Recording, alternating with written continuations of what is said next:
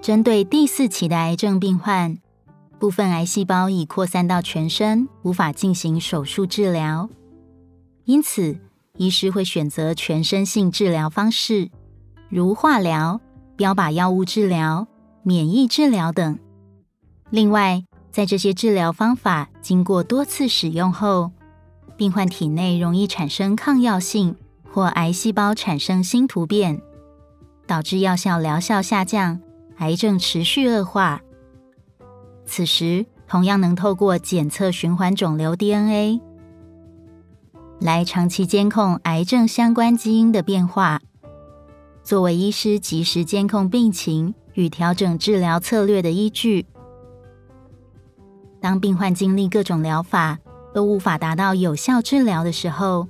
此时可透过抽血检测循环肿瘤 DNA。来分析体内肿瘤细胞带有何种变异，为医师与病患们找出合适的抗癌药物，订定最佳的个人化医疗策略。